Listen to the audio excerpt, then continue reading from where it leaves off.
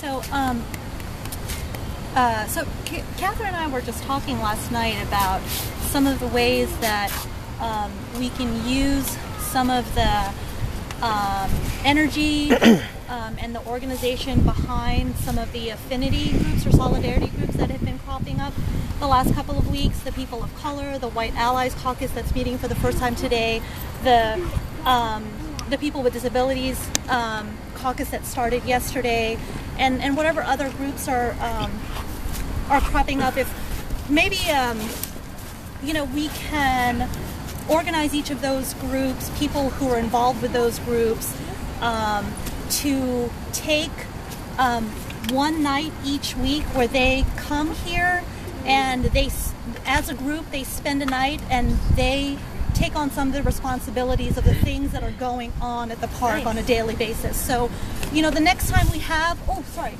a, a women's solidarity group camp out, the women come, we spend the night, we take care of security, we take care of cleanup, etc., etc. Another night we can have the POC group come and occupy the park specifically on that night, take care of security, take care of cleaning, take care of cooking, all of that.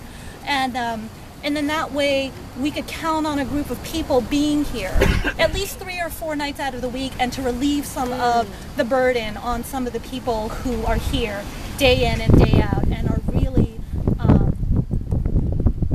doing first of all kick-ass work but also lots of fucking work um, to, to keep this going for the rest of us who can't be here all the time.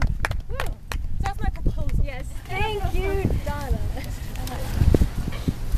How we go from March chapter? Uh, yeah, I was wondering. Uh, I might want to kind of make a proposal. I guess maybe. Three proposals. Is Um, Jordan still working hard on this? Uh, well, I don't know. Like, I just like I know what you guys were talking about, and I was just